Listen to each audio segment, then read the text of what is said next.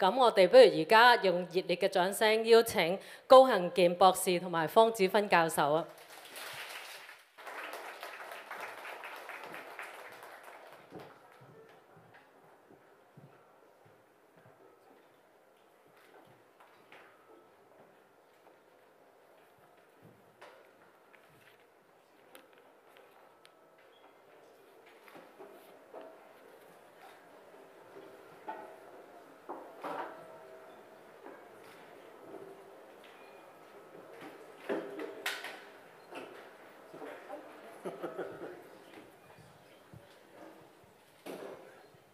啊，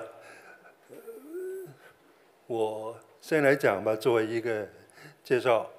那么非常感谢中文大学，非常感谢钟小梅。掌声邀请高行健博士同埋方子芬教授。来跟陈建啊做一个会谈的。其实我刚才跟他讲说，我说，哎，还是。你来讲吧，就是。大部分都是。他来讲。那么，那么我们看看怎么吧。怎呃怎么样这个去做？那么我本来也是呃中大人，其实我我比你们你们你们你们的中大的资历呢还要深一点。我是新雅新雅书院毕业的，这个是在这 一九六零年代在 呃龙浦道那个那个年代，就把我的年纪都讲出来的。你到这个新雅上面去，可以看到我的名字，也也也也可以知道我的年纪了。那么。然后啊，然后呢，我其实我前几年还在中大翻译系，翻译系这个，所以这里呢就比比较熟。那么好了，这个我的故事就讲完了。今天的主角呢就是这个高行健博士呢，大家都认识了，其实也不用不用我来介绍。我觉得呢，这个他他拿这个。呃，诺贝尔奖的时候，我这一种感觉就是说，哎，再不可以给一个更好的人了，啊，就是说这个真的是他这这是一个好好好好先生，心情好，对朋友好，这个而且呢，对艺术呢有一种非常呃执着的这种态度了，很沉的。很沉的这种态度。那我先讲一下，第一点我要讲的，他就他他呢，呃，当然就是中国大陆呃出生，然后呢，这个很早呢就演就演戏了，几岁在家里面都演，跟他弟弟在演戏。然后呢，念大学的时候呢，就是在这个呃北京外国语呃学院去念法文的，他是念法文的。那法文呢？那那个时候呢，中国大陆比较封闭，比较封闭呢，他就是通过这个法文呢，就看到有很多关于外国的东西，外国的东西，外国的文学了，外国的哲这个哲学了，戏剧的那种，这个大概你可以这个翻查一些文章，他在这个图书馆差不多全部的书他都看过，他都看过。然后呢，他毕业以后呢，就是当翻译，就是这个外文举止，当翻译法文的翻译。呃，法文的翻译当然也是可以，呃，因为这个缘故呢，就可以接触到，接触到有很多外国的消息，外国的文艺、外国的文学消息。他一边做翻译呢，一边一边一边一边写，一边写作，一边也有写书，也有写一些这个这个关于这个呃文学理论的书。在那个时候呢。他写出出了一本叫叫叫做什么现代小说技巧，是呃初探这本书。这本书呢，薄薄的书，那个这个其实在呃中国那个年代比较封闭，他就是用一种最新的当代的这种看法去看小说。这个我也看过，这这个这这跟我这年代是，呃，差不多，这种这个差不多是从一种这个结构主义的方法去看，而且看这个呃这个叙事方式了，这个人这个人称这个问题呢，其实后来就发展到他在自己的小这个小说里面呢，也用到这些技巧。也用到这个技巧。那么，呃，这本书呢，在我们图书馆，在呃中国大学图书馆里面也有，你们可以去看看。那个年代呢，其实是一种非常震撼的一本书，震撼的一本书。后来呢，就他这个当然他也写也写作，后后来就经过了文革以后呢，他就去了这个北京文艺，北京人民艺术呃剧院，就当这个驻团的作家，那么就写了不少的戏，大家都知道了，就是写了就出名的写的，比如说比较出名的是车这个车站，这大概是中国第一部实验性的这种这种这种呃戏，就当时呢也是这个有一种很大很大的突破，后来一些也是比较出名的。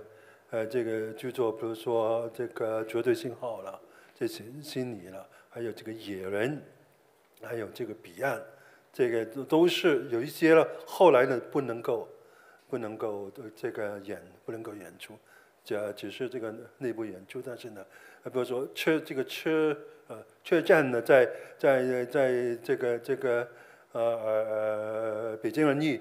演出的时候，那个时候这个院长大家可能不知道是曹禺，是我们中国现在一个非常著名的一个戏剧家。他看到这个戏呢，都大大的赞赏，都说好这个戏。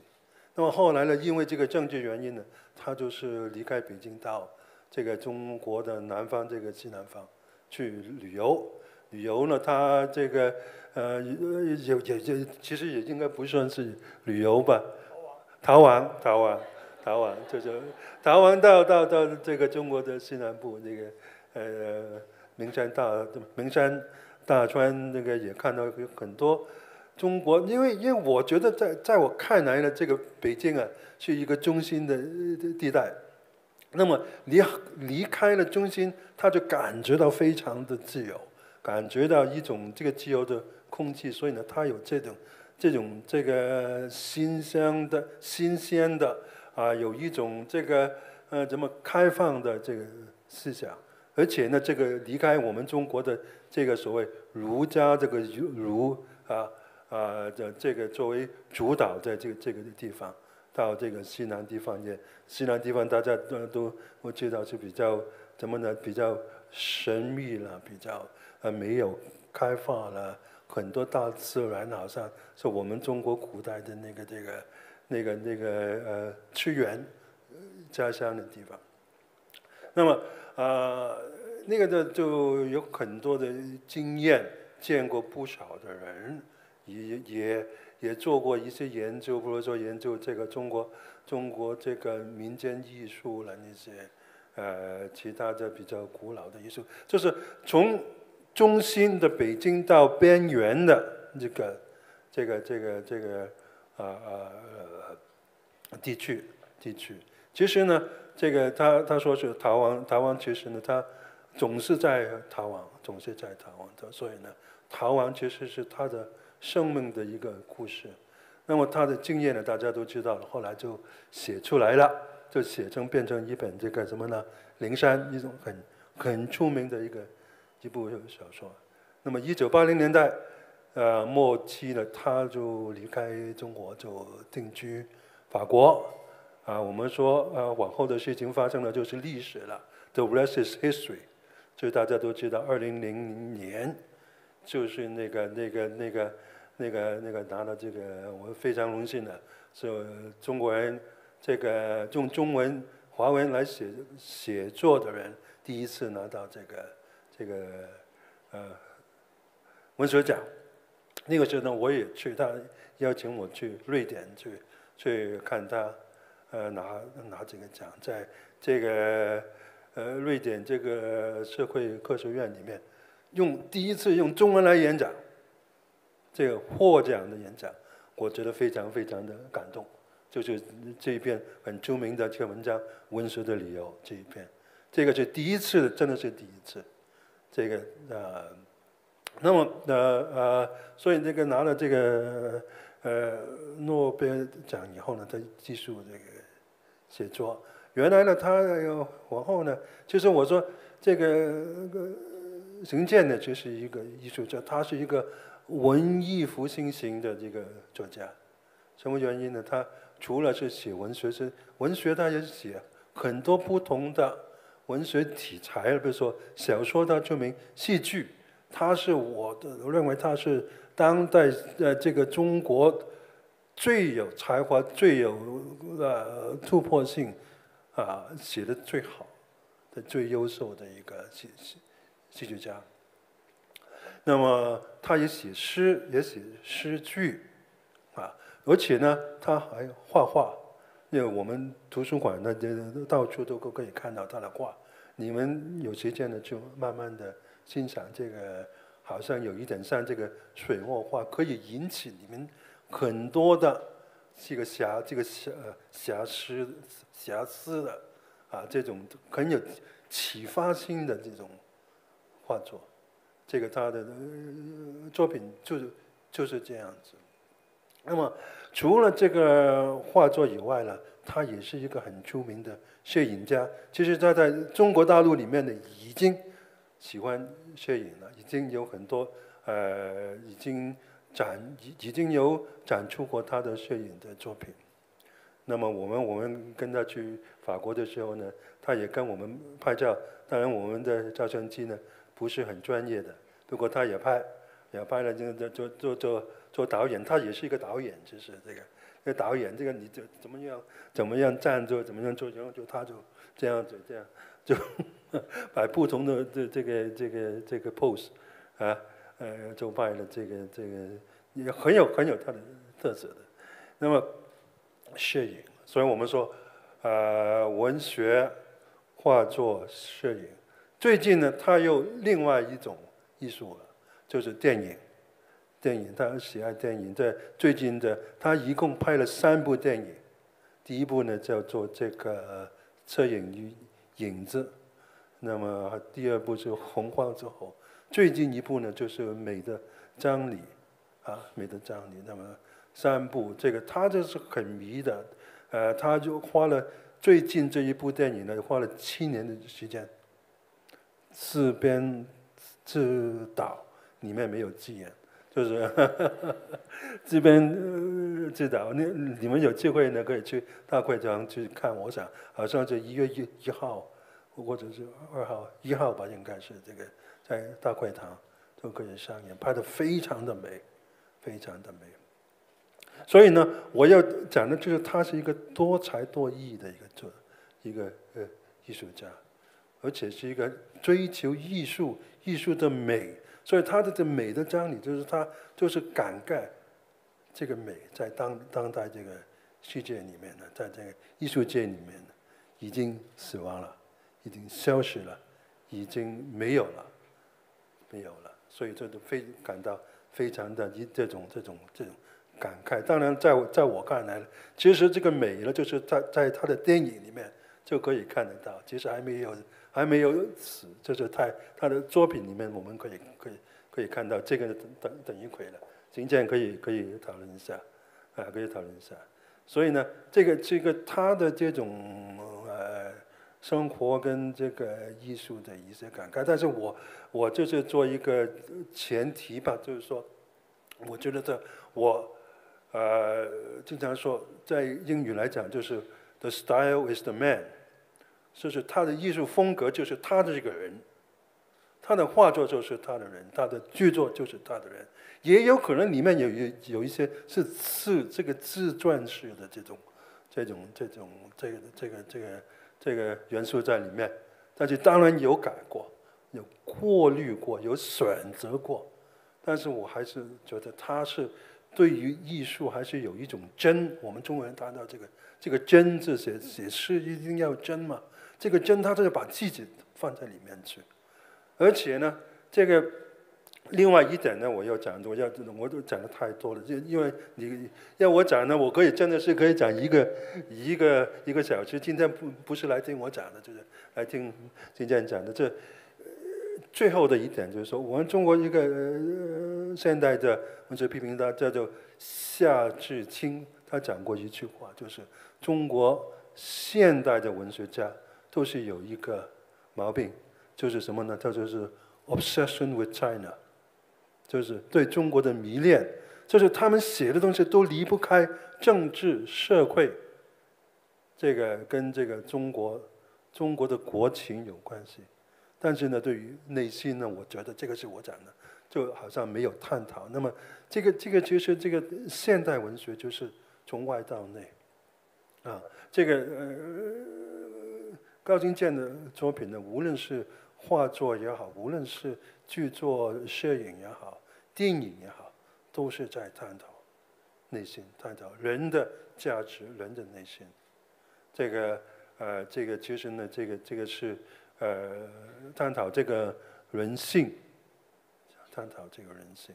所以呢，就通过他的作品呢，我们不是不一定能够哦有感觉到一种大道理，但是对于我们自己这种有一种感性，有一种启发，其实就启发出读者也好，这个观众也好一种感受。感受这个就是我自己，我觉得我的，因为我我我看我看他的的作品呢，我这个呃今天看有一种感受，明天看有一种感受，昨天看又一种不同的感受，所以呢，这个是这个就是一个好的作家，一个好的艺术家所所所能够给予我们这作为一个人怎么样去生活，可以就是给到我们那种感受。啊好，那么我现在就就把这个 floor 这个这个麦克风交给高金健，我们呃热烈欢迎他，谢谢。哎，啊，各位老师同学，呃，大家这么多人来听我讲这个题目，这个题目其实不是我出的，是呃沈校长出的，沈校长给我出了一个难题，呃，艺术与人生，这题目太大，哈哈。呃，这么大的题目是吧？要在一个这个很短的时间来谈这么大的题目，确实是一个难题，我很费琢磨，是吧？呃，思考来思考去怎么谈这个题目，啊，我想我们简单的谈一谈，呃，每个都只能很简单的谈一谈，你这个题目确实太大，这个艺术与人生是吧？艺术这么大的一个一个一个，呃。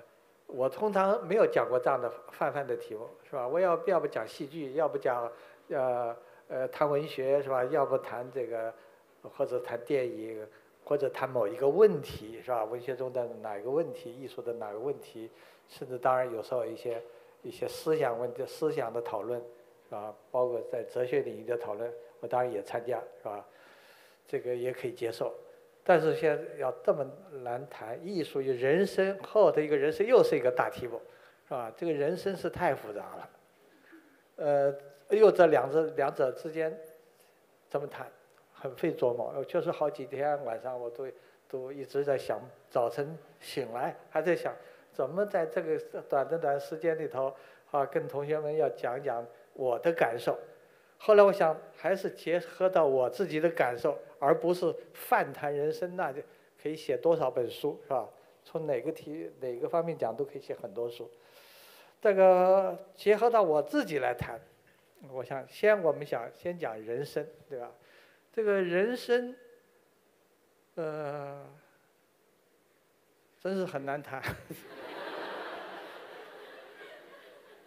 人生就是一个困境。人总也在困境之中，是吧？不管什么时代，不管是哪一个人，说一个人他一切的困难困境都没有，是吧？不可能，因为人是生活在一个社会环境下，有一定的社会、政治、经济、呃伦理、呃他人的关系种种的约束，还有人自身自己的问题、内心的问题、种种的困扰。是内在的、外在的，人其实总在困境之中。所以要讲的人生，首先是人生的困境。人生的困境是一个，呃，我想没有一天，没有一个时代，人们可以摆脱这个困境，总会有新的新的问题产生啊。这个对每个人都有不同的问题。那么，如何解决从这个困境中解脱出来？换句话说，如何在困境中赢得自由？这就是人的一个生存的根本问题，是吧？当然，每人的困境是具体是不一样的，是吧？不同的时代是不一样的，这个不同的人是不一样的。这么就要落实到另外落实到具体的人。我们这里讲抽象的人是没有意义的，是吧？这是一个政治话语，人权呐、人道啊，这个这个呃，这这个这个话语是一个抽象的话语，或者说老我甚至呃下面要讲到要要摆脱各种各样的意识形态，要超越各种各种意识形态，而回到真实的人，回到真实的人生，回到真实的问题，是吧？这是文学艺术要解决的问题，文学艺术要面对的问题。而文学艺术，文学艺术是什么？就是人要寻求一个解脱，从困境中得到解脱，他要找一个表述，就通过艺术，或者是文学，是吧？这个文学艺术在文学艺术的领域里头，还真没有没有边际，是吧？当然，人们可以给文学艺术设立种种的什么无产阶级文学啦，是吧？革命文学啦，什么救亡文学啦，爱国主义文学啦，民族主义文学啦，是吧？这个以至于后殖民主义的文学啦，等等等等，那是论家给他套上龙头，是吧？给这个艺术套上龙头。但是就艺术家讲，他追求的是什么？在艺术的领域，这是一个精神的领域。这个精神领域可以达到自由，那就看你怎么去在现实困境中的人，活生生的个人，而不是人的抽象的概念，是吧？这里头又区别于老人道主义。我人们说你怎么人道主义你也你也怀疑？是的，我有我认为这个这个呃，所有我们接受的观念啊，都值得重新思考一下。这就是我。呃，日后得到的体会是吧？包括这个老人道主义，我也有思考。这个老人道主义的前提是一个理想的人，是一个身心健全的人，是吧？体魄身心健全的人，一个和谐的人，是吧？这个一个自然人，是吧？这个，可是这个人在哪里？在现实生活中，这个人在哪里？这是一个观念，是吧？现实中的人是脆弱的人。是有种种弱点的人，是吧？这个有有种种问题的人，有遇到现实的种种困境的人，那么这是回到真实的人，就是个人，啊，这个文学就是个人在这生存的困境之中，企图得到一个精神上的解脱，找到一个是吧？这个这这个精神上他是。人毕竟不那么悲观，是吧？虽然在困境之中，虽然人自身有种种的问题，但是在一个领域里头，在精神的领域里头，你可以自由飞扬。那就看你认识不认识到这个这个处境，你对自身有没有这么一个一个深刻的认识？你一个要对现实的环境要做认识，要认识到这个真实的困境在哪里。然后你还要认识到自身的问题在哪里，自身也是种离不开有种种的问题、种种的困扰，是吧？这样你超脱出来一个飞扬自由，在这种困境中你找到你所能达到的自由，这就在现实生活中所能达到这个最大的自由在哪里？只有在精神的领域里头，只有在思想中，是吧？你哪怕是一个囚犯。是吧？你哪怕在种种困难的环境里，哪怕在一个集权社会下，是吧？我有这个这个生活经验，在毛泽东的时代的中国，是吧？是那个集权统治无孔不入，但是你可不可以有自由呢？我之后最后的体会，那个时候我逃亡，是吧？我首先在思想中逃亡，我也还是可以找到，就是我为什么要写作？我为写作，那个时候不可能发表的，而且要惹来危险，是吧？这个呃，甚至你不可以把你的手稿给别人看，是吧？那那是很很很很危险的事情，是吧？这个可是为什么你还要写？冒着这个危险，你你犯了什么毛病，是吧？要要要去写的，就因为要找寻这个自由，啊，精神上要有一个。否则，我觉得这个人活着是吧？你要讲讲毛主席语录，一天到晚是吧？见的所有的公众的场合，学习也好啊，什么开会也好，工作也好，在任何环境下，都离不开毛泽东的话，是吧？那是政治正确的话，是吧？这个政治正确是，啊，这个这个代替了呃别的时代，比方说伦理道德，是吧？这个毛泽东时代，这个伦理道德都被政治正确，是吧？都被毛泽东的语录是吧来代替。你要离开这话，你要讲点自己的想法、个人想法，就会招来麻烦，啊。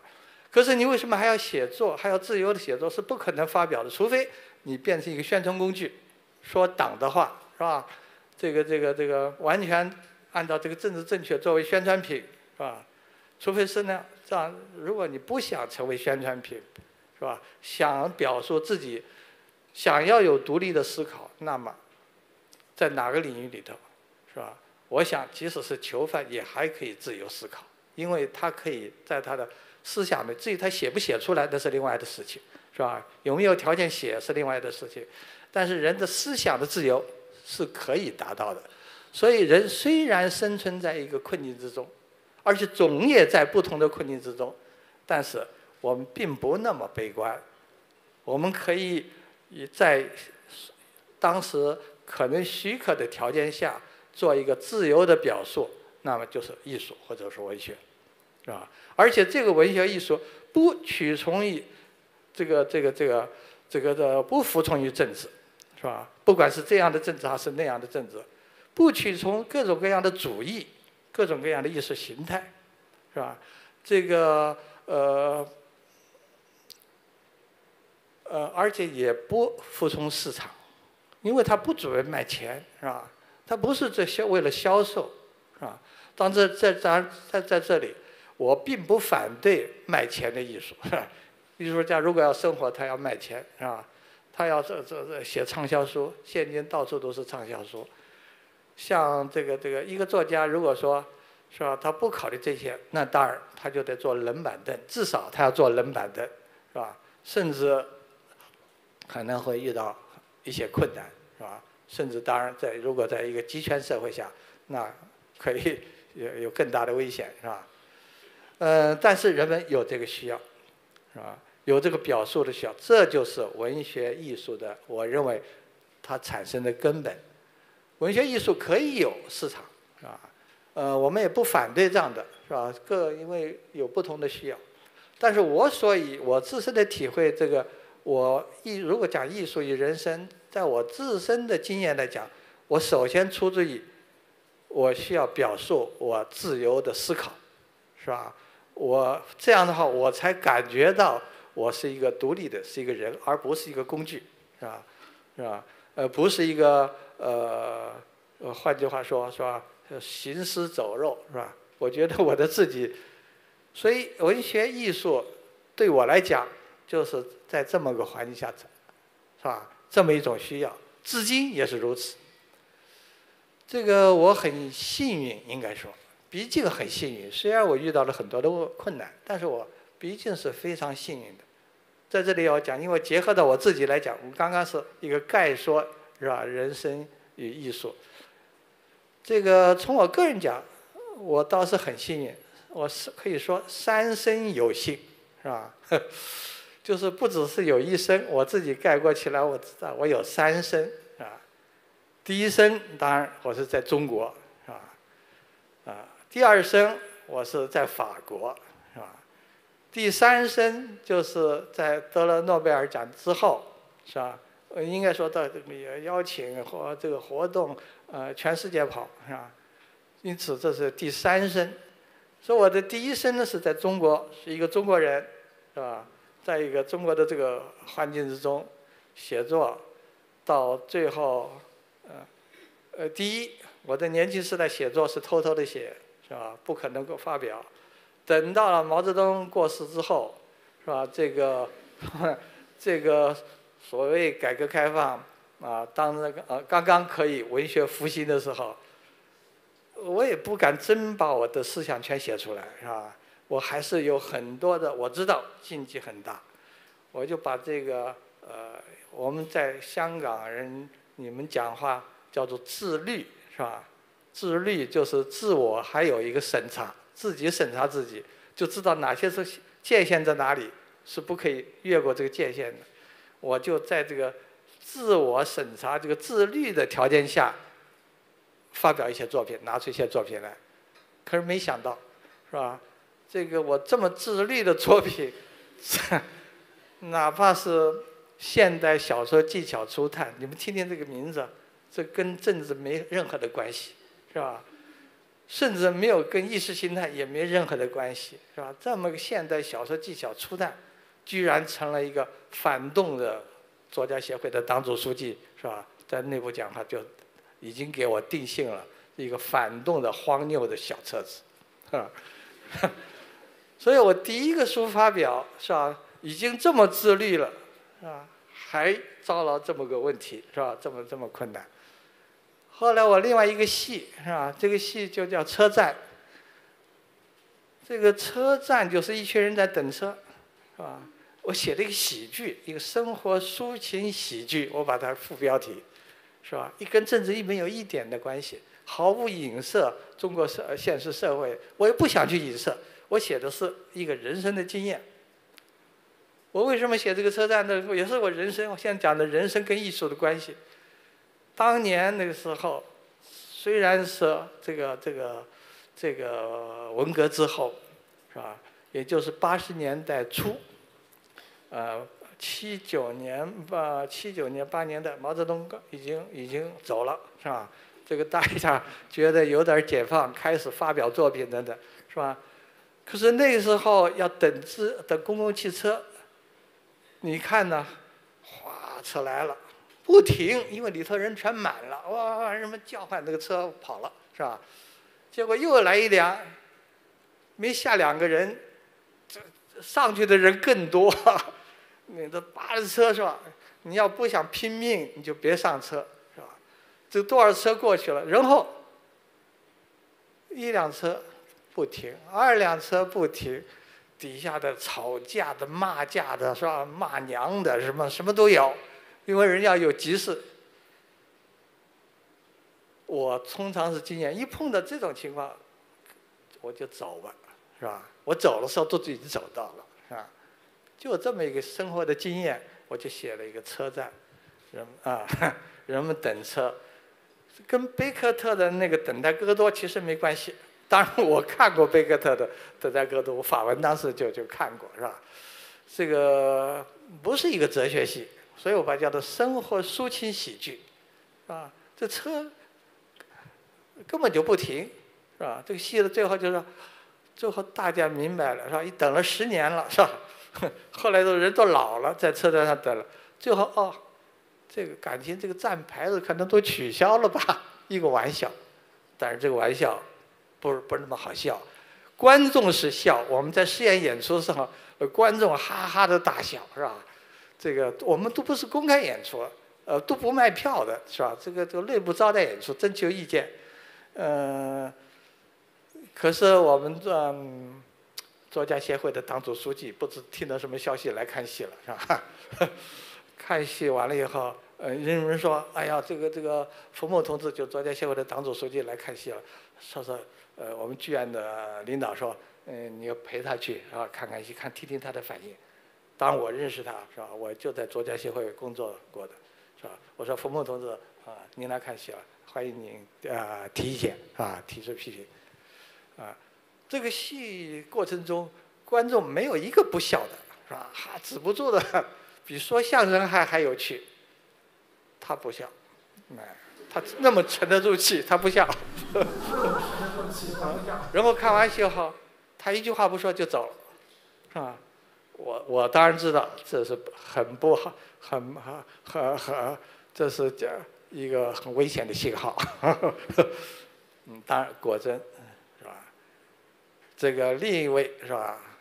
啊，另一位这是都都我都是有名有姓的，这个确实确有其人，这不是我来污蔑他们，是吧？是吧？另一位是呃中共宣传部副部长是吧？贺锦之同志是吧？啊，贺锦之同志是主管宣传部主管文艺的，在作家协会内部讲话，清除精神污染，发动运动，的内部讲话，这个呃车站就我这个戏，是建国以来最恶毒的一个戏，是吧？比海瑞罢官还海瑞罢官。大家知道，海瑞罢官是文革发动文革，首先从毛泽东发动文革，首先批判海瑞罢官起，是吧？然后惊天动地，把全民让全中国人都发疯，是吧？啊，斗得你死我活，也不知道死多少人，是吧？这么一个恐怖的运动。他说这个这个比海瑞罢官还海瑞罢官。最后一句话是吧？这是我的一个朋友。夜里十二点钟跑到北京人艺来，偷偷告诉我的。他说事情不好了，因为他刚刚列席了会议，听见的这个这个这位贺部长的发言是吧？贺部长的讲话动员，啊，所以说像高新建这样的，要到让他到青海锻炼锻炼去。呃，这样一个，我想大家想大家都明白是吧？青海锻炼锻炼去意味着什么？我当然了，我我立刻的逃。行健，不过不过我我我我这这个这个有一个问题，就是说这个你说这刚才你讲这个这假如是对现实或者对困境有所呃有所认识，有所呃理解的话，就可以有自由，是吧？那么那么你刚才你讲到这个车这个车站呢，我们是不是可以说是通过文学艺术也可以对现实有所理解？就是也也有可能，就是因为你通过车站这种这部戏戏剧做一种艺术也好，文学也好，观众看到了，对他们对现实也有所理解，也有所领悟，那么就得得罪于那个那个那个那个当时的这个政治这班子这个官员。就是可以不可以这样子说呢？或者是，因为你有你有他的感受跟跟一般观众的感受不一样，他是独特的感感受，是吧？那每人的接受不一样，那么普通大家的观众没有人不笑的，是吧？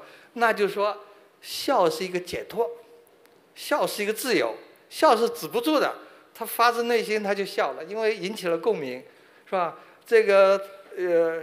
他有观众一定接受了，根根据自身的经验是吧？有一个理解是吧？理解了作者作品里头，因作者就通过这个戏和观众做了交流是吧？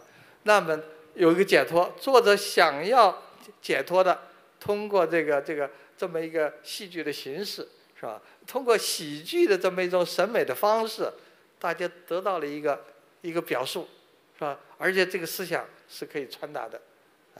这个戏并不是，我不主张戏剧从政，是吧？我不主张文学艺术从政，这是一个灾难。这个文学艺术从政，呃，从这个这个马克思时代起，是吧？号召这个这个呃，这一代一代的，至少现在恐怕到今天有几代马克思主义者了，是吧？他们都要把文艺变成什么东西啊？阶级斗争的工具，是吧？这个革命的工具，是吧？宣传品，啊。到了当呃共产党当政以后，就是宣传品，是吧？当共产党不当政的时候，是是是武器，是吧？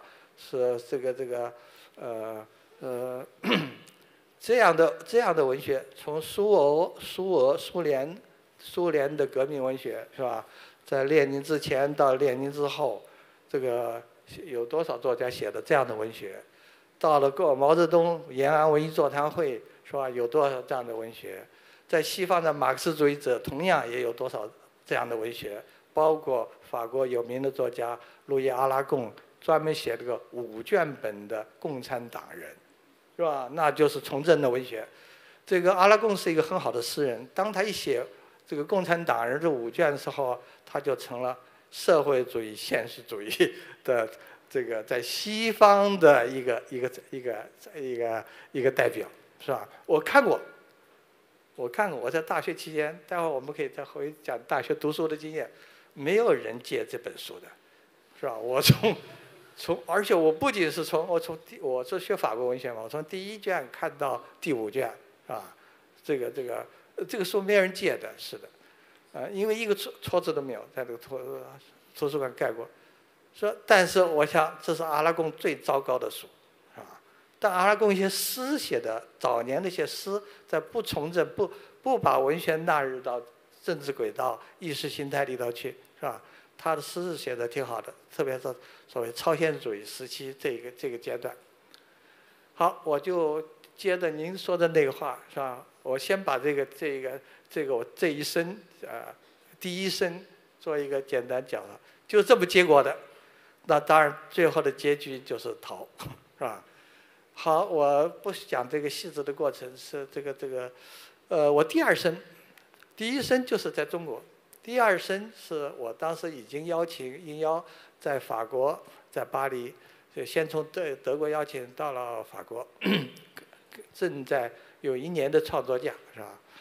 我正在写我的《灵山》，我这本《灵山》应该说，既然我在中国写写当年写这些，我的自律。有自律，结果还被查禁，是吧？这个自律是非常荒唐的，我就别要自律了。那么换句话说，我就别想发表了。零三就这么写的，从八二年开始，我就想，好，我好歹要写一本给我自己对得起我自己的书，是吧？我充分的表述我自己想表述。这个书也不是一个词不通正见，所谓后来的词不通正见的这种说法。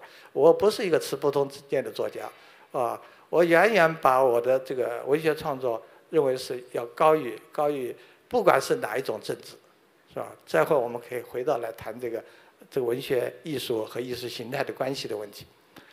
这个我就在写这本书，不，我并不打算这本书在生前发表。是吧？但既然我有一个机会邀请到法国到巴黎，这我要利用这个自由的时间来写这本书。这个时候遇到了天安门事件，我当然没有必要再我首先我自己就没有必要再回去了，是吧？再一个，我就很快写了一本一个一个剧本叫《逃亡》，以天安门事件为背景，是一个美国剧团啊向我定的这个戏。他们说你要找个最好的人，呃，剧作家就是高行健。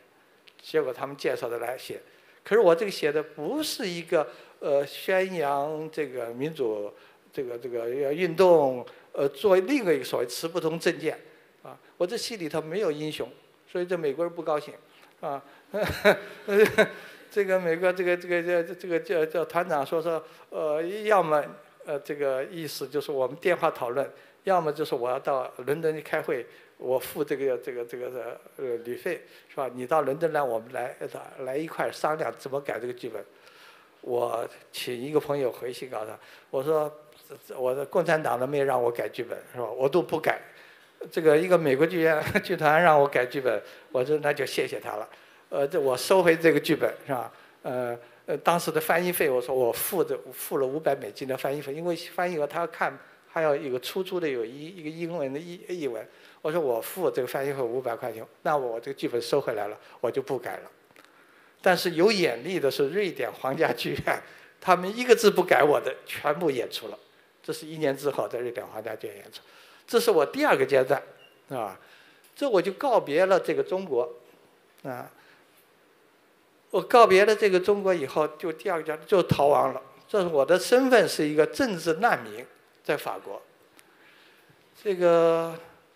人们有有不少的这个流亡作家，他一生都是一个政治难民，或者一生都是被认为叫持不同政见者，是吧？持不同政见的作家，我不接受这个，这个这个搞嘛这个标签，因为也是一个政治标签，是吧？持不同政见也是一个政治标签，我远远超过政见。我以为艺术，呃，文学，它是对人类生存的思考，是吧？它远远超过一个浅近的这个呃现实的政治利害关系，当然它超越市场，是吧？一个一个市场的经济上，所以经济和政治讲这个现实的利害关系，文学艺术，我以为文学艺术的根本是超越这个的，它是人们精神的一个需要，呃，也是人们从现实困境中解脱的，对吧？一个一个一个一个需要。那么我这第二生，我不想作为一个持不同政见作家，是吧？我就这种呃非常令人沮丧，而且恐怕你这一辈子都带上一个烙印，不得解放，变成一个持不同政见者，是吧？我没有证件，是吧？压根儿超越现实的证件，为什么不可以？我认为是可以的，所以这就谈到第我的第二个阶段，我应该很快持从这种持不同证件的这种身份里解脱出来，这就是我第二生，在法国的第二生。我得到法国籍是一九七九年，就是五年，我我几年之后我才拿到这个法国籍，作为法国作家、法国公民，啊，这个可是我成为法国公民之前，一年之后我就解我自己解脱掉我这个所谓持不同证件，是吧？这么一个这么一种政治难民的身份，我不我不认为我要。是一个这个难民作家，是吧？那么正好法国文化部的朋友给我定一个戏，希望写一个戏，是吧，这就跟那个美国的那个剧团的戏就不一样了。他们没有要求我有什么是，所以这是我喜欢法国，是吧？就是因为他没有说有一个有个政治标准要求你，你这个戏有什么要求？当然，他们也没有一个要求。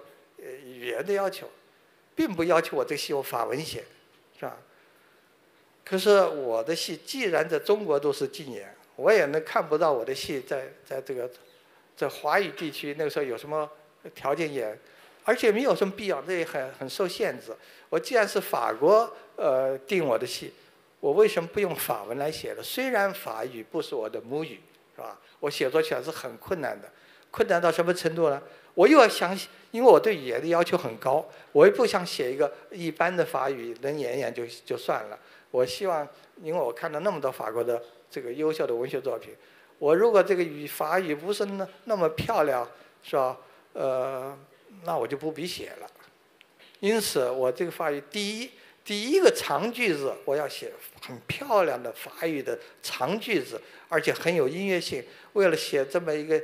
这一个大长句子不到一页，不到一页纸的一个大长句子，这个我花了三天三夜，啊，是，这是对我是一个挑战，但是最后戏写完了，写完了戏，这个戏已经现在已经将近二十年过去了，也仍然一演再演，法国演，别的国家也演是吧？很多国家都演过这个戏，这是我那个时候就。这个戏呢，跟跟中国、跟政治毫无关系，跟中国也毫无关系。这个戏叫做呃《生死剑》，是吧？这个《生死剑》是一个中文的译文，我自己当然又把它写成一个一个中文译文，其实是非常法文的戏，是吧？我后来连续写了五个法文的戏，跟中国社会没有任何一点关系，跟中国情节没有任何一点关系。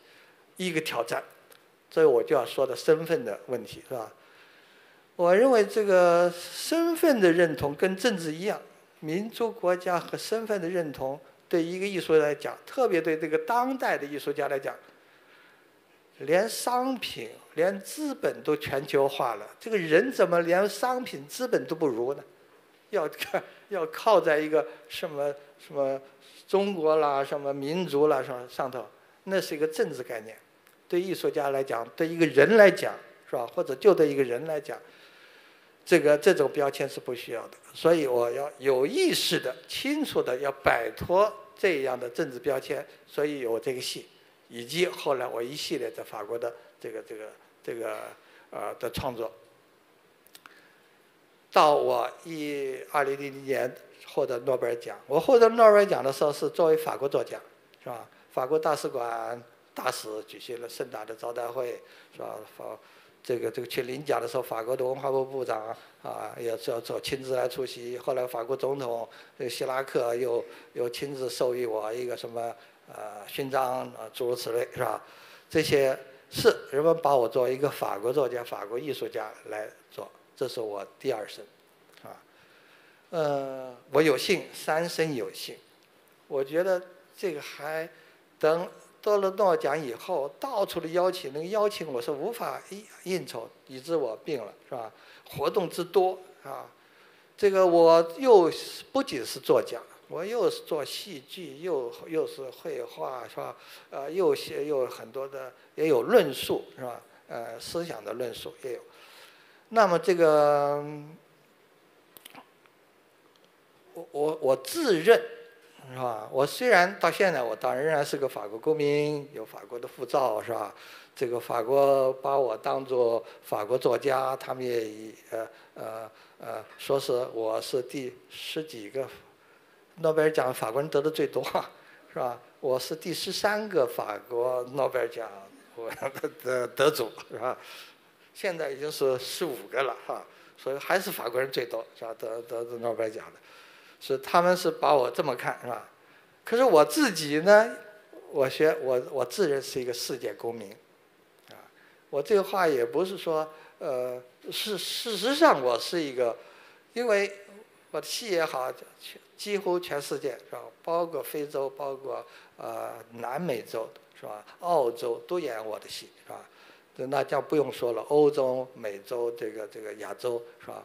我的画至少是三大洲是吧？我美洲、欧洲、呃亚洲是吧？这我的画展已经我的个人展览就有八十次是吧？不说我那些参加那些那些这个这个展那个展的是吧？就是我个人画就八十次。这个戏在全世界演演演出，所以我为什么我确实是一个世界公民，是吧？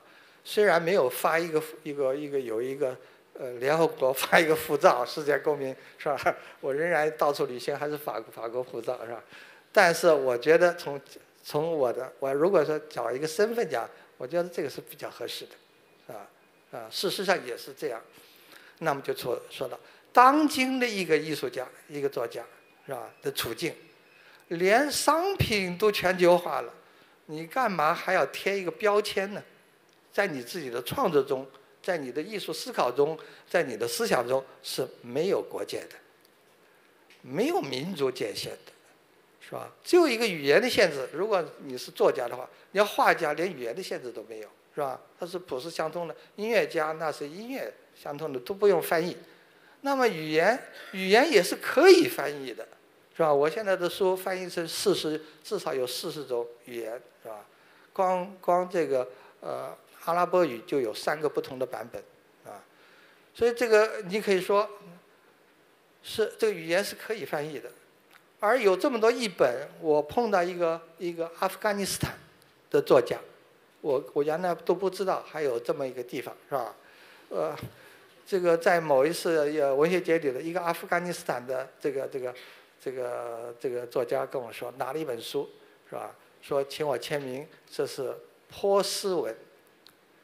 我还不知道，之前我还不知道有一个现代还有个波斯文，我知道古代有波斯是吧？有有波斯文，现代还有国家用波斯文，我这很奇怪。我说我还没有过这个，你能把这个书？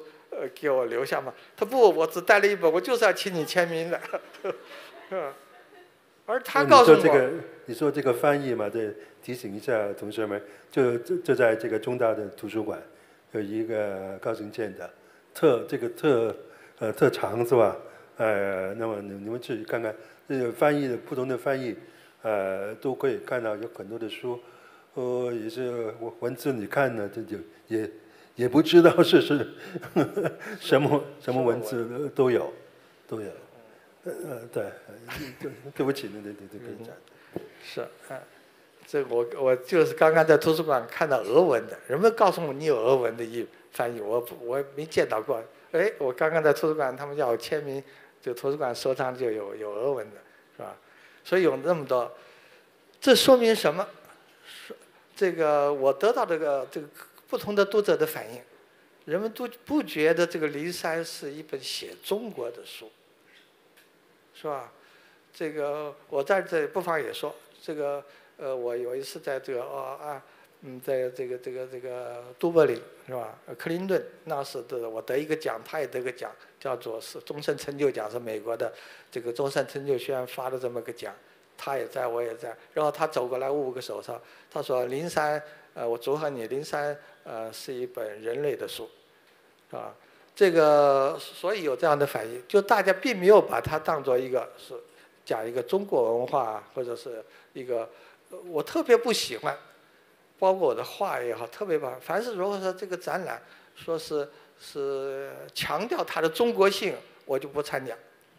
啊，因为我不是古董，我不需要不需要贴上这个标签，是吧？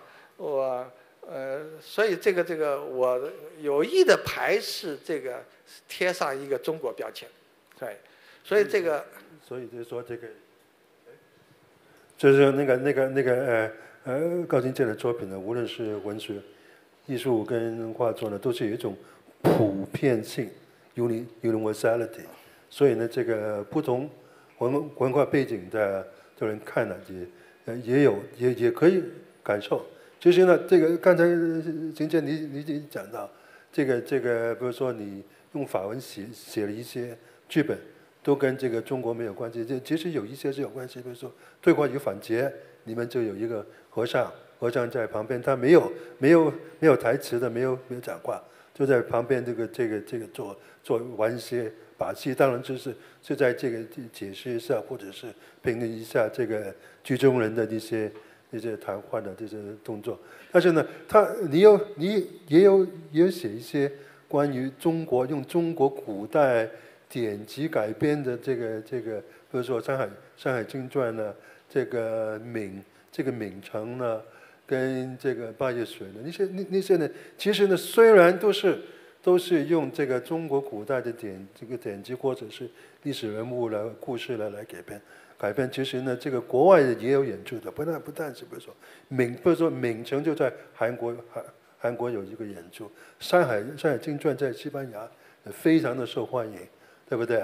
那个那个还有还有这个什么这个这个呃呃《山海经》名城还有这个呃半夜水半夜水在马赛马赛用这个歌剧来演出这个马赛这个这个这个什什么什么歌唱团也有也有歌剧院歌剧院的这个歌唱团的演出我我也看过也非常的精彩而且呢评论非非常的好或者你也。你也可以用这个来讲讲一下。嗯，即使是中国题材，是吧？包括我写《山海经传》，说是中国的不能在中国了，《山海经传》是根据古籍《山海经》是吧？以呃呃为出处来写的一个中国的古呃远古神话。我当时写的时候是是这么想的。这个呃，在我之前。应该说，是吧？这应该说，没有呃，中国作家或者是在中国文文学史上，人们只把《山海经》的一些片段，是吧？作为演绎，呃呃，鲁迅写写过一个，是吧？有些矛盾，呃呃，闻一多他们也用过，用过做一个这个这个，像中国古代一样，是吧？把它作为一个寓言，作为一个故事，加以自己加以演绎，是吧？人们没有想到这些残、这些残、这些左翼从《山海经》里出来的这么呃呃，《山海经》中往往有时候只有几句话，是吧？甚至只有四句、四个字，在某一个事情提到。当然，在中国其他的古籍里头，你可以找到很多的参照，说明在中国远古有一个。不是一个，有远古有一系列华夏有一系列的神话，神话体系，而中国的之大，这个神话体系跟希腊的神话体系不一样，生希腊只是几个小岛，所以他的那个上帝也只有一个宙斯，可是中国这个你要去看看《山海经》这个远古神话里头，有北方有黄帝，是吧？南方有炎帝。是吧？还有这个东方有这个帝俊，也是帝，是吧？西方有没有吗？细想一想，也有。我的啊，西王母，王母嘛，也是帝，是吧？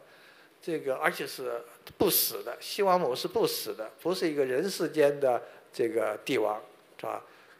那么可以说，在中国远古，就华夏广大的华夏地区，比希腊地域广大的多。有多个的部族集落集团，那个时候还不形成民民族国家，没有这个民族，民族的概念是很晚才有的，是吧？这些部族集团都有自己的原始的神话，形成是自己的神话体系。可是到《山海经》这个书出现的时候，至少是战国时期，换句话说，至少是公元前六七世纪的时候，这个书大概就已经有了，是吧？而且可能是不是一本书，是各地的巫书的汇编，所以有《山海经》，有海外这偏这个是吧？呃，东西南北，实际上就是一个广大的华夏地区的一个集成，一个合集。这个合集里头呢，包含了这个各个神话体系的片段，东西南北部族集团的神话体系的片段。我做一个什么工作呢？我做的是一个人类学的考古学的工作，是吧？就是把这些碎片，就像一个我们呃考古工作的发者发掘一样，发掘了一个一个一个罐子，有若干的碎片，一个古陶罐。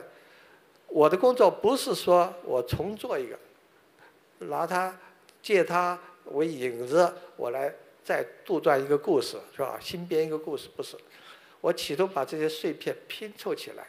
它所残缺的部分，我就留到它残缺，是吧？做一个严谨的，像考古学一样的，这个背后有做了一个人类学的呃这种这种观念在后头支撑着我来做，企图恢复中国已经丧失了的远古华夏已经丧失的这个神话，我做了这么一件工作。我做这么工作时候，大家可以这个这个我自己很明白，因为。有一个希腊神话的参照，希腊这那么丰富的希腊神话参照，我想我这个工这个所有的材料是如此丰富，足以和这个这个希腊神话来来比美，是吧？但是希腊神话由于荷马史诗，他把这个东西都变成了故事，是吧？相当贯穿。我我当然我也企图去，我所做的种种努力，就是要建立呃重建一个，不或者重建一个。或者说怎么呃修复一个是吧？恢复一个这个已经丧失了的、失散了的这个呃呃东方的远古华夏地区的神话体系。因此，这个观点是一个人类学的观点，是吧？换句话说，也会也可以说是个神话学的观点，是吧？是这一个考古学的观点，是吧？来做这个东西，找寻它和其他的这个神话体系。是吧？的相通之处，所以最后，呃，我有兴趣的是，这个人性在这些神话中包含的成分。所以这里头，从《山海经》中可以看出来，有一个有一形象，就是这个羿射太阳的羿，是吧？这个羿，我认为是可以说人的意识的最初的觉醒，是吧？羿本来是天生。天生，这个呃天地是吧？地俊让他去，因为他的十个儿子、十个太阳在在做，在在胡闹是吧？这个世界满地都是灾难事件，他去他就把射了，最最后不听话，这些太阳不肯回天庭，他射掉了九个是吧？拿的弓箭是天帝给他的，好，当然触犯了天庭，被驱逐出，所以他从。得罪了天地，得罪了地，得罪了天上天，他到了地上来了。得到地上，地上众人要拥他为王，是吧？呃，他他不想做王，因为他，人不管是王也好，你的死，人生命有限，他已经丧失了天性，是吧？被天庭赶下来，因此生死的焦虑是他首先的焦虑，这是一个人的焦虑，神没有这个焦虑，是吧？所以人的意识的诞生，首首先从这儿开始，啊，然后他有男女之间、夫妻之间，是吧？他的这个他的妻子是最后他妻子也背叛他了，上了，是吧？上了这个这个月亮去了，吃了不死之药。他要求不死之药，是吧？要求长生，他就找到西王母，啊，西王母给了他这个蟠桃，是吧？没想到这个，呃，这个。他他妻子给他吃了，是吧？就是嫦娥吃了奔月。嫦娥奔月写成在后世被写成一个美丽的神话。不，我依照这个神话原始的心态来处理，我一点没有瞎编，是吧？原始神话里头后后东汉以前的记载是这个呃嫦娥变是个赖侠嘛，在天上是吧？这是这是另外的故事。最后羿。也是这个古籍的记载，羿是什么怎么死的呢？是吧？是人们这个出了怪事儿是吧？天上出现癞蛤蟆，人们的恐惧把都都是你惹的祸是吧？都这个义惹的祸，大家恐惧就把义给打死了是吧？是吧？这个好，他天也不容，地也不容，人也不容。哈，一旦一个人觉醒到他是吧？这个人的，我想个人人的生存的困境，从远古那么远古的时代就已经觉醒了，是吧？这是一个人类普遍的事情，一个普遍的觉醒。我没有把它特地的变成一个中国神话，所以这个戏，这个呃一旦演，如果是说这个这个放放录像带，人们觉得非常有意思，是吧？我的另一个戏是个《上海街》，这个这个八月雪在马赛歌剧院演出的时候打了字幕，呃，没有人说看不懂的，是吧？全场起立，大家这么一个中国禅宗是一个。可以说，甚至很玄妙的事情，是吧？但是通过这个，我我没有把这个六祖慧能变成一个一个佛胡，嗯不，我是把他作为一个人，是吧？作为一个思想家，是吧？作为一个真实的人来呈现的。我也没有把那个呃这个这个禅宗搞得那么玄玄妙。我以为慧能是一个伟大的思想家，我不把他作为一个宗教领袖来看。宗教的革新家来看，他当然他是一个宗教革新家，也是一个宗教领袖。但是对我来讲，在今天来讲更有意义的是他的思想，啊，他的思想什么？回到平常心，是吧？人是回到平常人，回到平常心，他并不把自己当做一个活佛来看。那么平常心，一个平常心，就智慧就产生了。我们刚刚讲人的生存困境。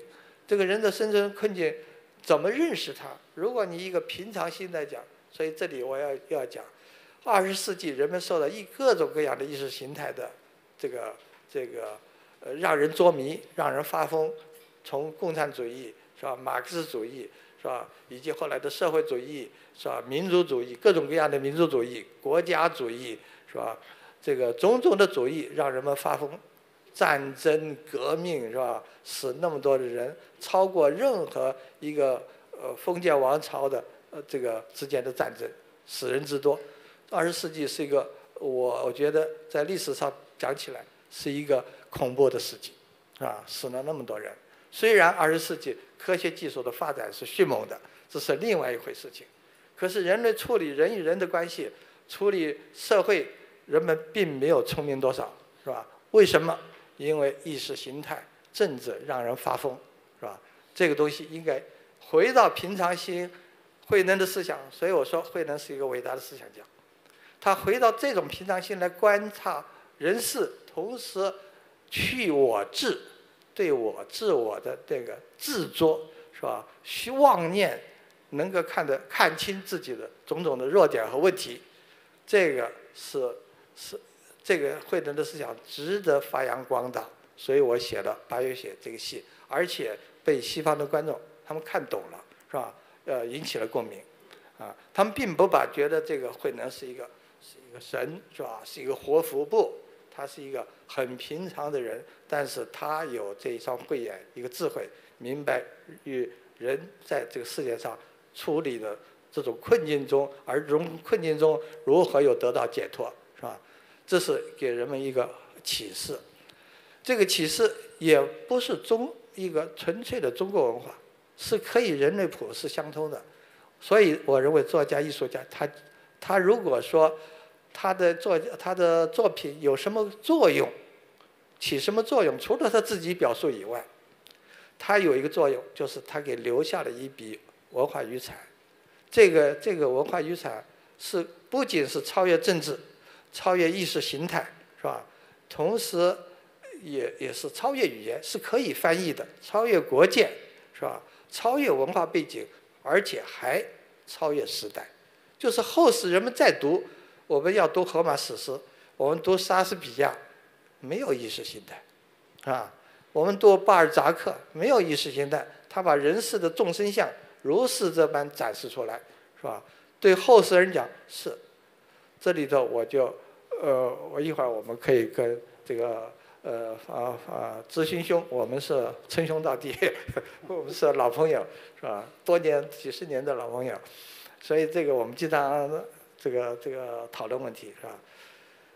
这个所以，我就的这个哎翻译啊，我翻译你的东西呢，这个不单是这个文字，当然这是比较难的，但是你解决了这个文字的问问题以后呢，这个其实主要是其他的作品呢，还是有一种文化的问题、隔膜的这种问题。但是呢，这个翻译这个行健的东西呢，我觉得还是这个文字，我说的当然是比较困难的，这因为它它有很多里面有很多这个音乐音乐性的这种节奏了，还有一些背背后的这种意义呢，也要翻出来，也是要也就是也不要太太这个浅的太太显露，对对不对？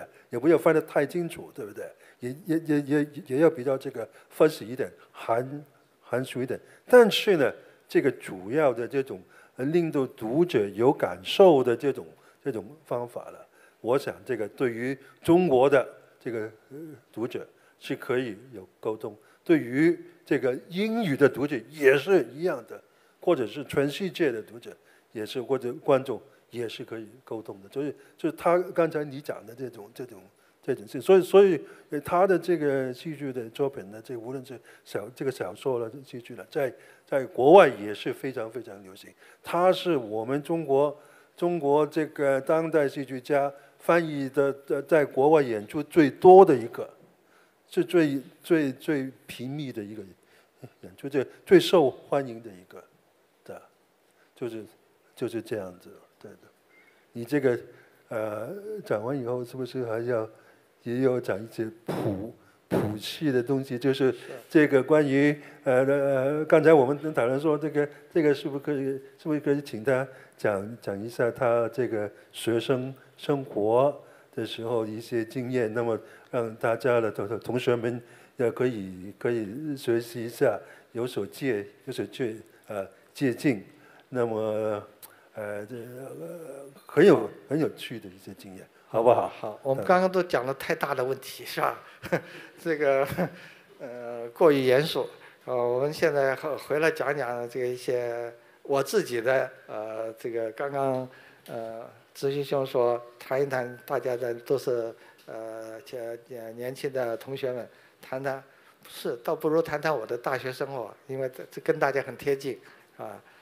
这个我的我的大学生活是，呃，我跟大家现在的年纪一样，十七岁上大学啊，呃，进了大学，这个也是一个偶然，是吧？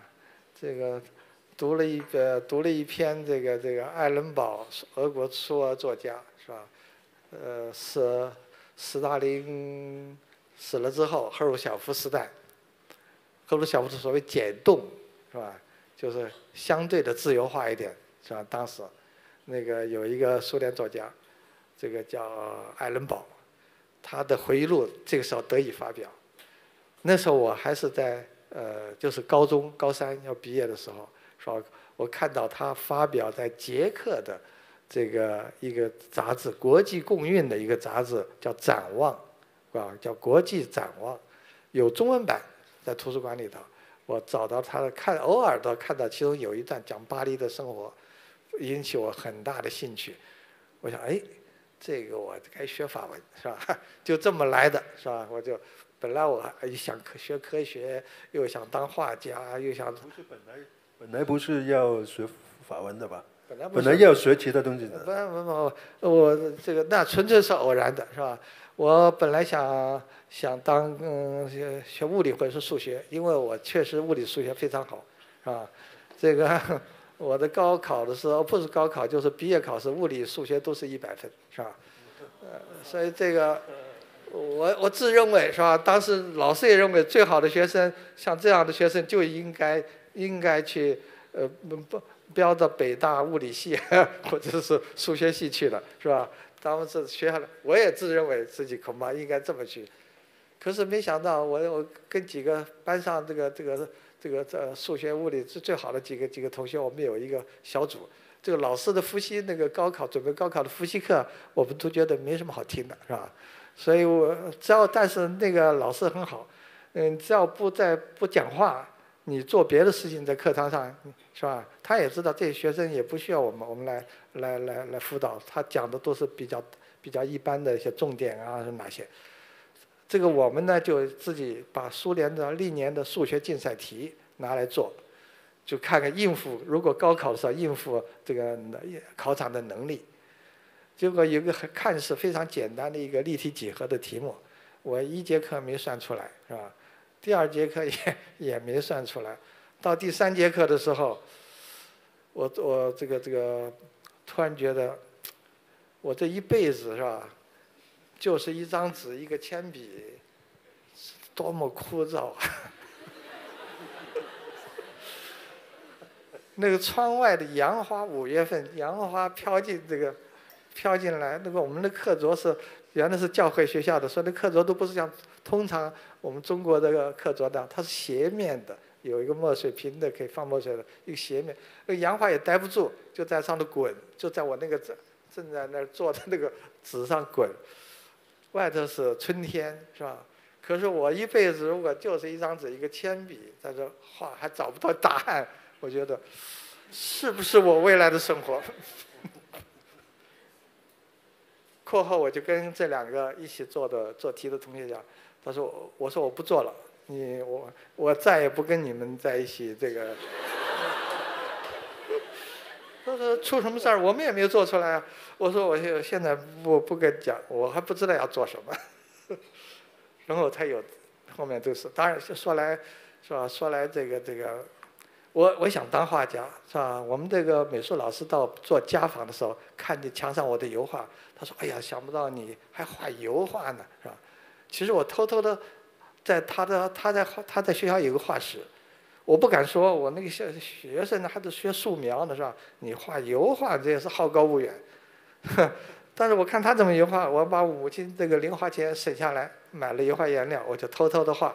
我一看有问题，我就看他怎么处理。是吧？处理回来我再去画，再我再在图书馆再借到借这个油画的技巧的一些一些基本常识的一些书，那么我就等他做高考的时候，呃，毕业的时候他到他不知道我画油画，是吧？因为高中生也没有呃这个这个呃图画课了，是吧？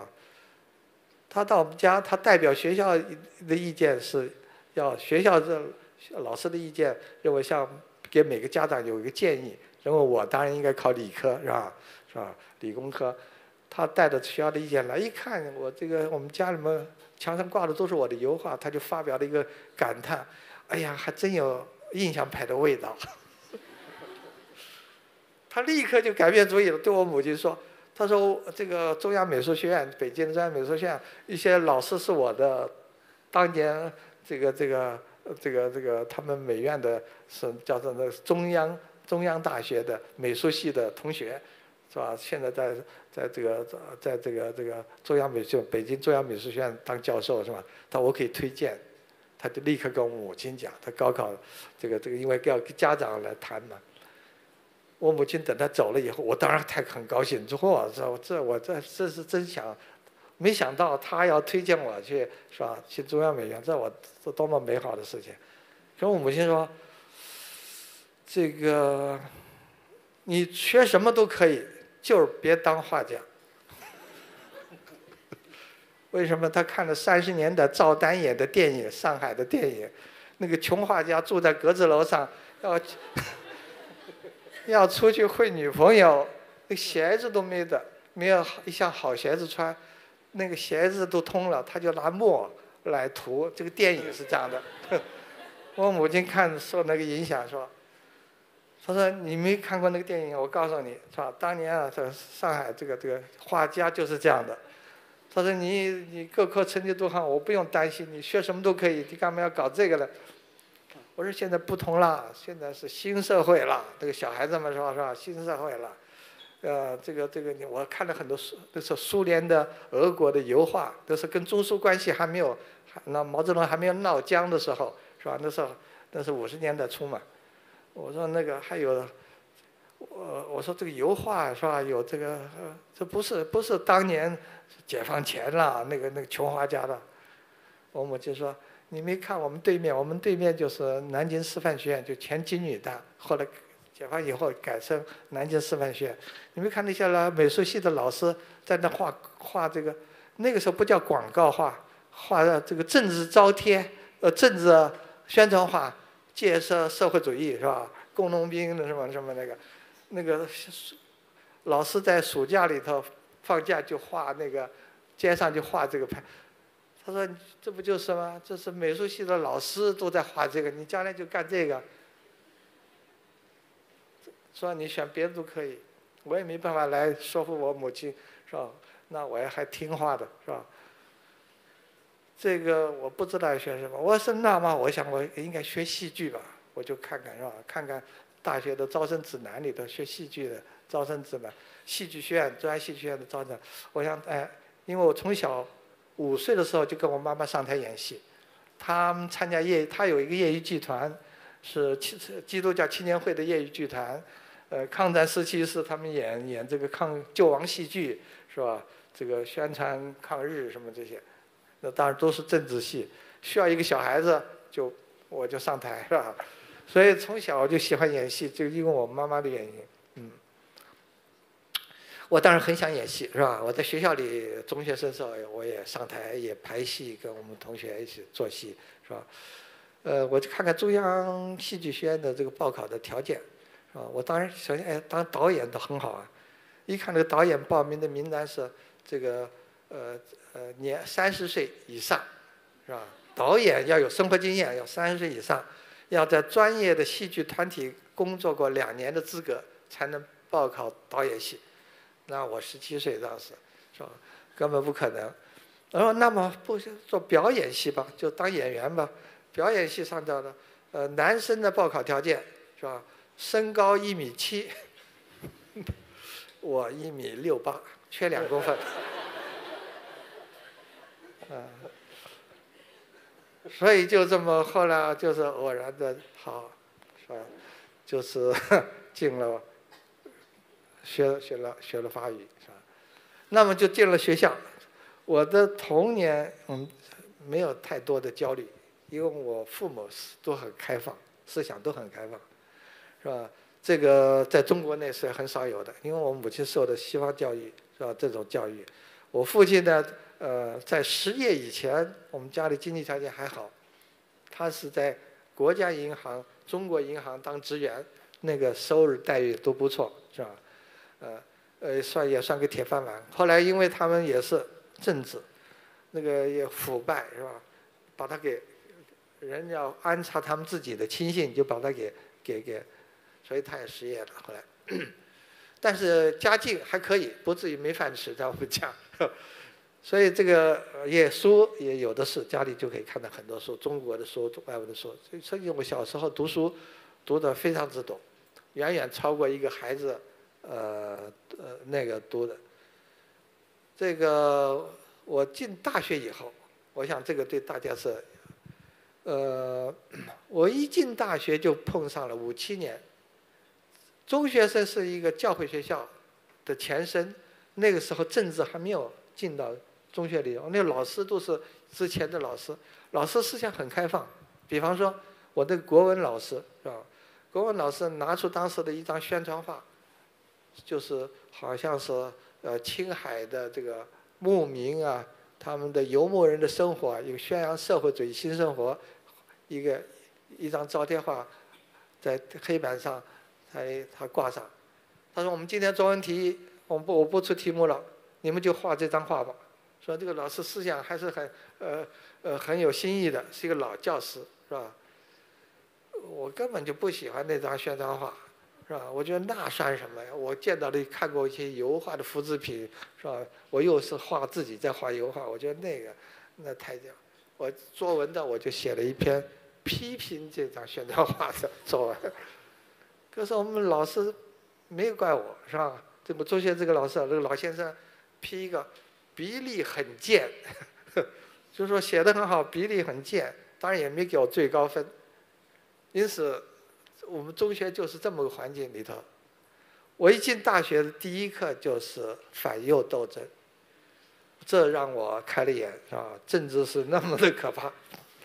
这个高年级同学，我们刚进来的新生，当然呃，还没有什么立刻参加就是反右斗争。这个年高年级的学生里头，右派分子一个个批斗，我们新生也参加。哎呀，那个学生痛哭流涕是吧？这个吓得不得了，要做检讨。那个时候，是吧？其实我记得有一个学生，就是因为他好说了点什么，好像什么的古希腊的什么东西，呃，我都记不清了。讲了几句这样的话，跟当前政治是不相干的，就是右派分子，是吧？好。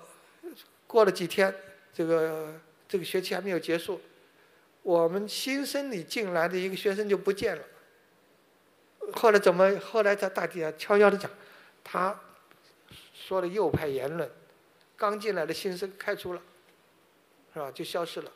再过了几个月，这个被批斗的这些学生啊，高年级学生啊，不见了。吃饭饭堂吃吃饭时候没有了，哪去了？底下悄悄说。后还不知道，就是不见了。多少年后才知道，劳改去了，是吧？这些人都劳改去。所以那个学校，我第一课进来是这么可怕。可是我从小在这么家庭的读书是敞开来读，是吧？家庭也没有这个限制约束，思想很开放。那么这是第一课，大学这个政治是这么可怕的，我可不能乱说话，是吧？也不能说你读什么就就就，因此我读什么甚至不能让同学知道，因为我读的书是远远超过大家大家这个这个上的课，比方说上政治课，这个政治课是马列主义哲学，叫做马列主义哲学，一上就是一个上午就是政治课，这种马列主义哲学，其实我那时候什么都读，你不是讲马列主义哲学吗？我就把马克思的原著找来。是吧？马克思哲学，马克思没有哲学著作，最接近于哲学著作的一本书叫《费尔巴哈论纲》，我就找来都看了。我不等你讲，我连费尔巴哈都看，论纲都看了。我不知道我们那个讲政治老师他是否都读过，是吧？我也不知道。所以他那个课当然不用去听，是吧？这个那怎么办呢？那要点名，你不能就不能不在。所以一到一个上大课的时候要点名，点名有班长，班长点名。我把我坐在最前排，我把个书包放那儿，等他点完名我就溜了，是吧？所以一个上午我就躲到图书馆里去了，我看我的书。那个时候每个学生有五张借书证，是吧？只有一本是借小说的，还有别的借别的书的，没有人都用五张借书证的，因为大家还还有这个专业课，是吧？法语啊这些专业课很多。这个我可是我的兴趣很广，我就把班上大家不用的借书卡都收了来，因为我有几十张借书卡，所以我一到图书馆去借，我借一书包的书是吧？几十本，这样我就跟图书馆的管理员熟悉了，没有学生是这么去借书的是吧？这时候我想看，因为有一本书是大家中我在中学没看到的，这这是我觉得在读文学书是必读的，就是歌德的《福斯特》。是吧？这个借书卡上有，但是这本书老借不到。我就跟图书管理员讲，我说，如果这个霍霍斯特来了，你给我能不能留下来？他说这个书现在传的太多，但是因为我已经跟图书馆管理员认识了，所以他就好。等了一两个月以后，好，我看，嗯，借到了霍斯特，歌德的霍斯特。歌德的霍斯特当时是茅盾，哦，不是，是郭沫若翻译的。那个半文半白的那个那个译文，那个译文很难读，啊，这个也不流畅，呃，三大本那个老的版本啊，有有三大卷，每卷都有很厚，是吧？这我借到手的第一本的已经破破烂烂了，这个书看得很旧了，是吧？好，我把第一卷读完了以后，我去借第二卷，第二卷不用等，立马就拿出来了，第二卷。第二卷上盖过是，可能最多不超过十个戳字。这书后头有个单子，就说最多借出过十多次。我很快看完了，然后借第三册。我之前没有一个戳字，是吧？那么就说在包括在外语学院，外语学院有德文系，德文系的老师和同学，啊，且不说别的系，没有一个人把这个。中文的佛斯特读完的，我是第一个，这是我读书的经验。可是我读完了福斯特以后，三卷都读完了以后，虽然这个译文很很佶屈聱牙，是吧？但是我看到了一个一个一个歌德能把一个作品这么复杂的呈现，一个大作，是吧？这是一个不朽的大作，日后给我留下很深刻的印象。所以我能写那些大作品，从这么小的时候年纪，是一个文学作品需要精心的结构，这么复杂的结构，不惜。所以我灵山可以写一写写七年。如果不是天安门事件在在巴黎，我还不知道写到哪天去，是吧？我用的材料可能只是最多用了五分之一，是吧？但是我当时就因为我面对到另外一个环境，我的结束就不能再这么零散这么无止境的写下去，是吧？但是灵山就是一个庞大的结构，我也想要回想一下，跟我在大学时代读书有关系。这个仅仅是一个例子。呃，我说刚刚我讲的那个读那个呃，这个路易阿拉贡的《共产党人》五卷，是吧？我读完了。还有一个作家就没这个书就压根没有借过，从第一卷起就没有人借过，也是五卷，是什么呢？丹麦作家尼克松，人都不知道。后来我到丹麦去的时候，只有专门搞文学的人，后来才讲讲，呃，尼克松，呃，想想是。是上个世纪末是吧？是这个这个二十世纪初，他有一个写当当时的丹麦社会的一个长篇，有五卷，是吧？这个没有人接过，我是从第一本起就是唯一的一个错字，一直读到五卷，是吧？我这样读书是怎么？这样跟因为我这么跟图书馆管呃管理员搞得那么熟。图书馆管理员就可以，你别人不可以进进这个这个这个呃进书架里去是吧？你都是要插卡片，要什么说那么多学生嘛，我就有个特许，只要你人不在，你你就进去了。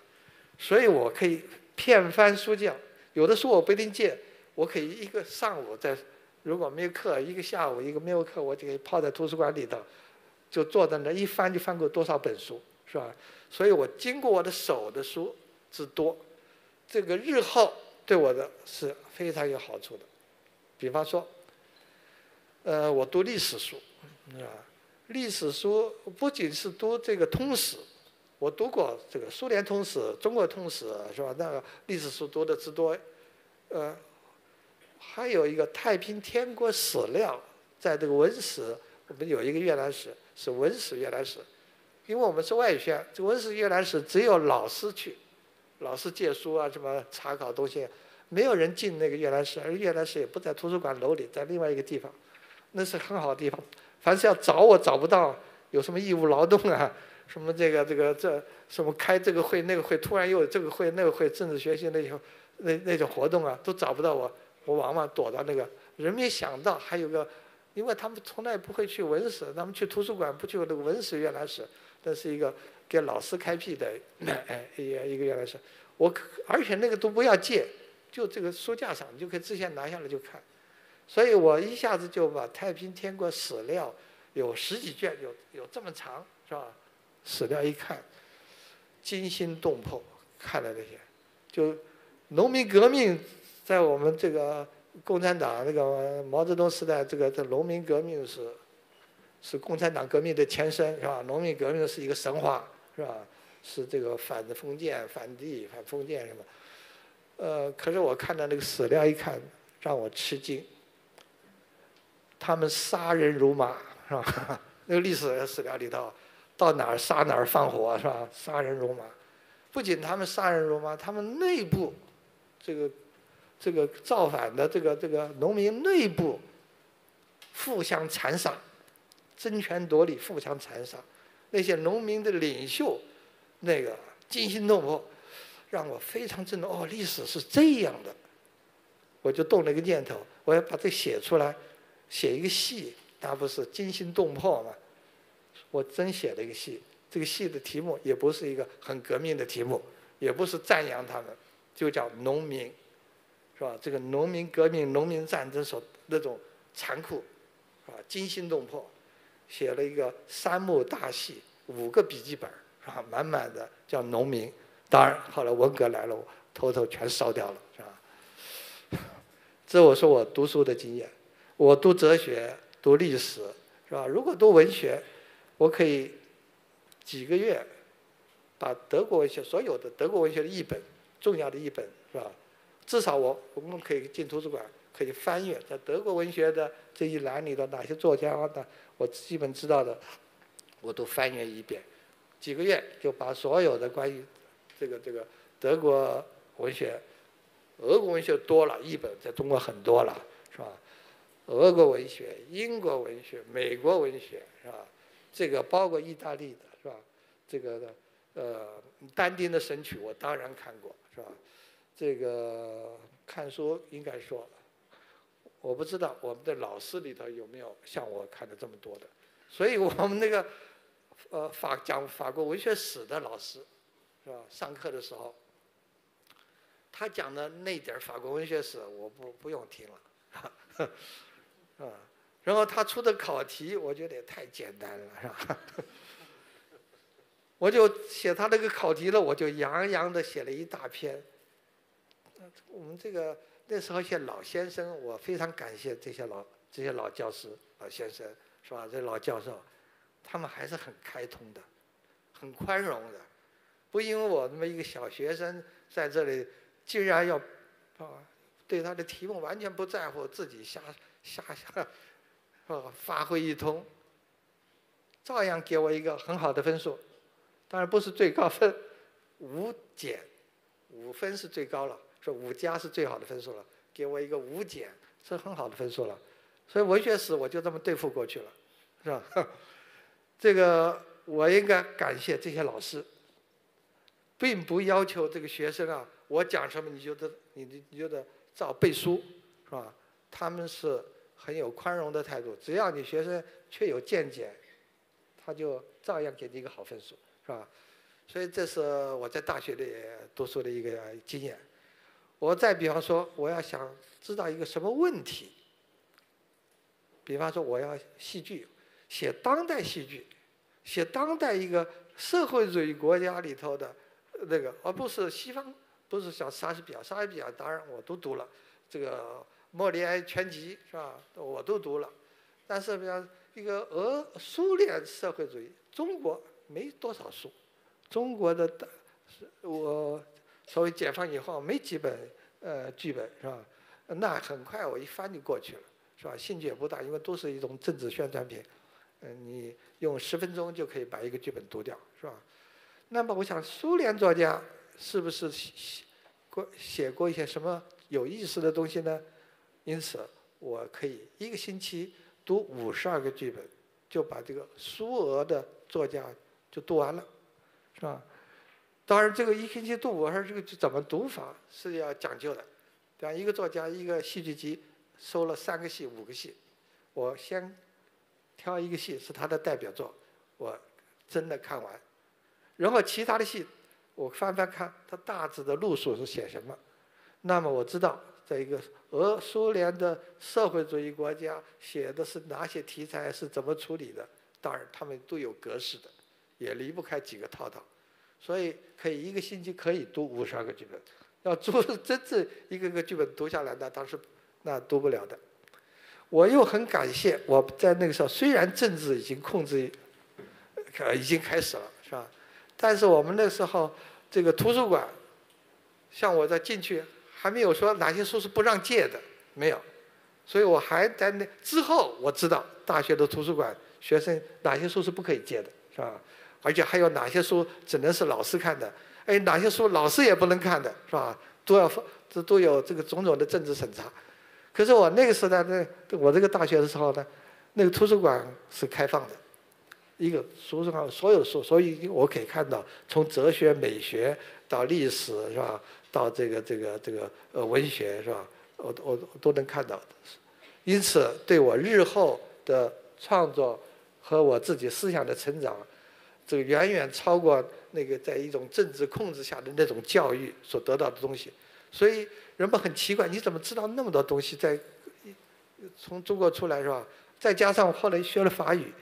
我们法语那个越南史里头有些这个西方左派，比方说沙特的呃编的刊物《新时代》，是吧？苏俄国已经解冻了，当时有一个俄苏俄文学的苏联的文学的这个呃比中国要解放的多了，要开放自由的多了，出现的它的有个俄文作为法文版，好些刊物、好些杂志都有法文的，所以我还有另外一个渠道。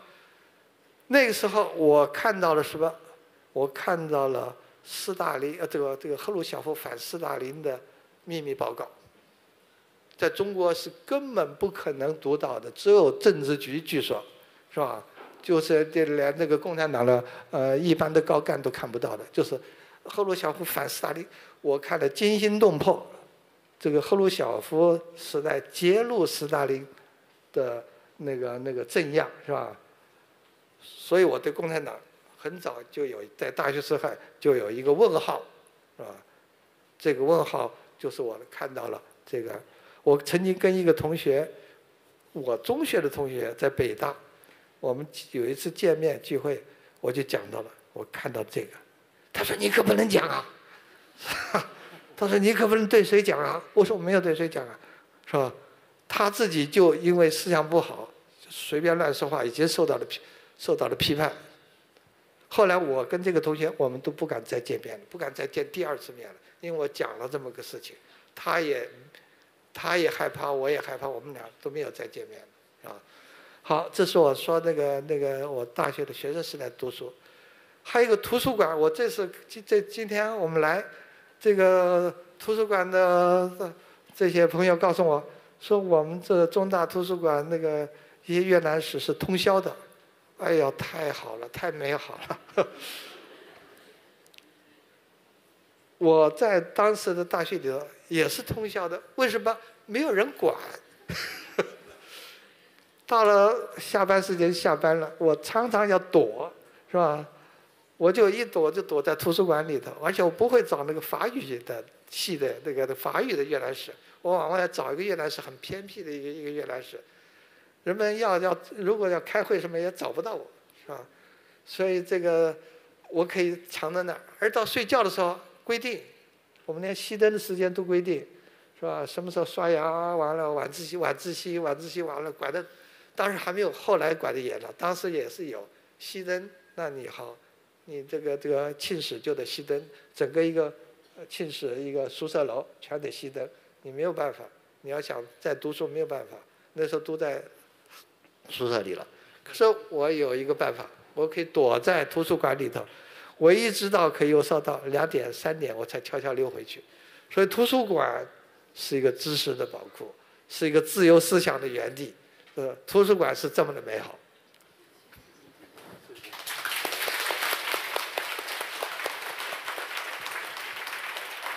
这个我们这个这个也是就住这个新的宿舍也是熄灯的，十一点就熄灯。那我们就是什么呢？呃，透电，在在天台有还有灯，就是在这在那边去透电的。好，呃，这个呃其实非常感谢邢健，那个给我们一些呃很有用的经验，而且是觉得一个大的作家呢，基本上他的以前的训练跟他自己的用功是离不开的。那么我知道还有很多。其他的有这个有趣和很有用的经验，大概我们也希望这个金建呢有机会呢再来呃中文大学再来跟大家同学再讨论一次，好不好？啊，谢谢。好，谢谢谢两位老师，今天非常的精彩，还有我们听到很多故事，老师的故事，我想都可能没没有讲过是吧？在这边是第一次，大家可以有机会听。